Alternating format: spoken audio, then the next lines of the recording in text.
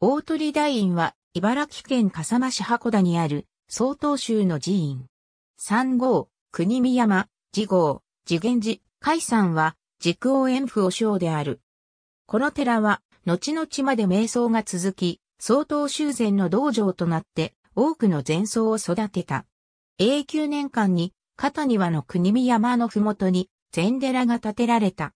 その後、騒乱のため廃寺になったが、文明8年に笠間領主笠間が相田黒の地に再建した。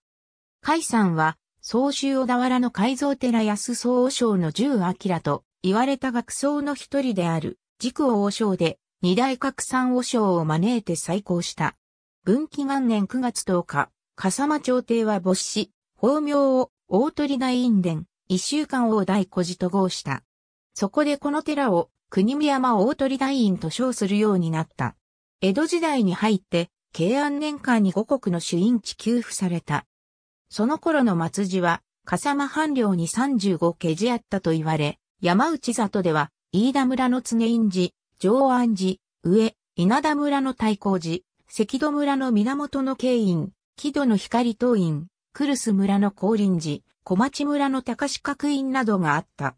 両外で、遠州長元院、出羽米沢の金松寺、松源寺、新庄の長泉寺、鶴岡の善流寺等、全国に114家寺があったと伝えられている。